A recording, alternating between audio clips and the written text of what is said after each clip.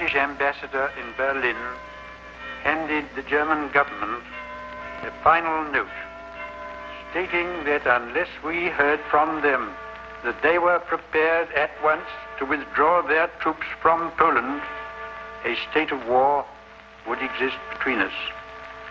I have to tell you now that no such undertaking has been received, and that consequently this country is at war with Germany.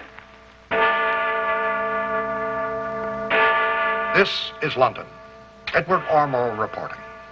On this, the fourth day since England and France declared war on Nazi Germany, there is grave concern over the fate of Britain's newest, largest, and fastest luxury liner, Goliath, which sailed for New York just prior to the outbreak of hostilities.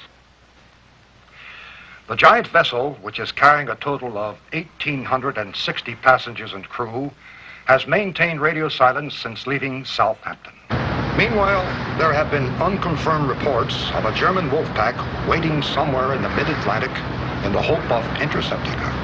However, because of Goliath's speed, in excess of 30 knots, she should have little trouble in eluding any would-be attackers.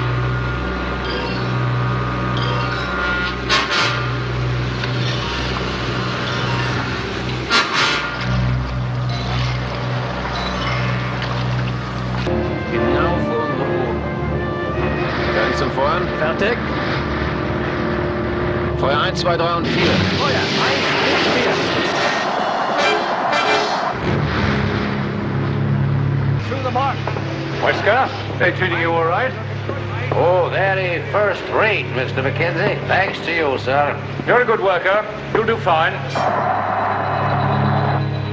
I never did get to thank you proper for putting in the good word for me to the captain like you did. Oh, I thought it was the noose around me neck for sure. Just do your job, Wesker. That's all.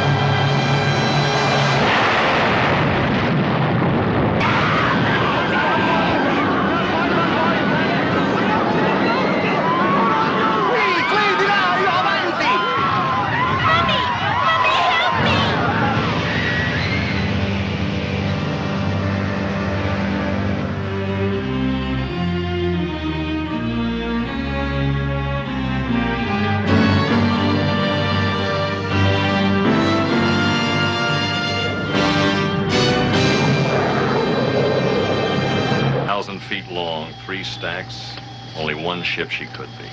Goliath.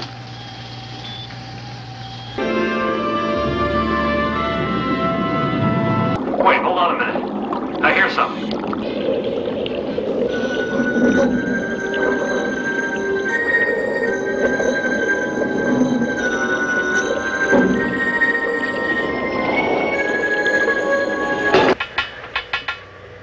Hey, I'm answering.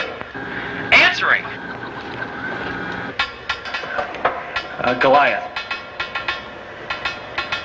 On board. Three. Three. Seven. Danger. Air. Toxic.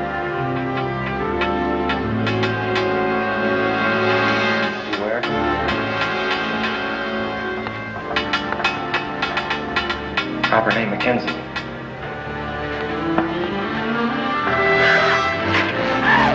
Three hundred thirty what? 37. Mr. Whitaker, patch me through to Admiral Sloan at the Pentagon. Is it possible? Well, uh, well, if they went down slowly enough, it's possible they could have reached ambience. Uh, but I mean, that is uh, equalization with the outside pressure. But I, uh, it beats me. 337 people? After 40 years? I'll be damned. I think I see a light above us. A light? Come on, up this way.